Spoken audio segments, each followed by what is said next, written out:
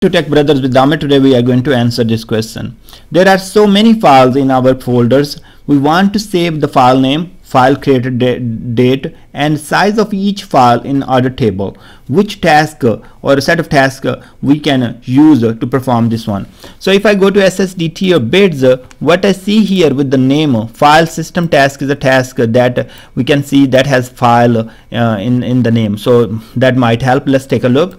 So inside the file system task, what we see here, we have different operations. We have copy name, uh, create directory, uh, delete directory, move directory, and all different operations.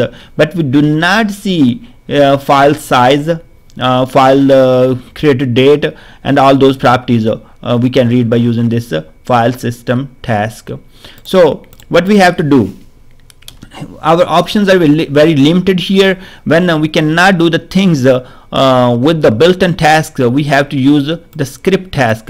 So with the script task we can read that information for the file such as file created date file size and file name from the folder. So we will be using um, system.io namespace and we will be using different functions to read these properties of the file.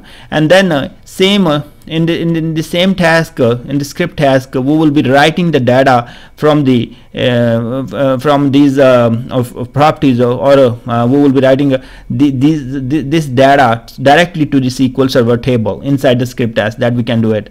Uh, I have a post uh, that shows you step by step how to do it. Uh, and if you want to take a look you can go ahead and uh, explore it. You click here right in front of on the top of it and uh, you will see the post and uh, that will walk you through step by step how to do it this is the post and uh, I wrote in uh, 2011 um, and uh, that's where I created a table with the um, name called DBO file information. You have file name file created date and file size and then you use uh, this script to read this information and put into the SQL Server table. So you can take a look. Thanks very much for watching this video and I will see you in next video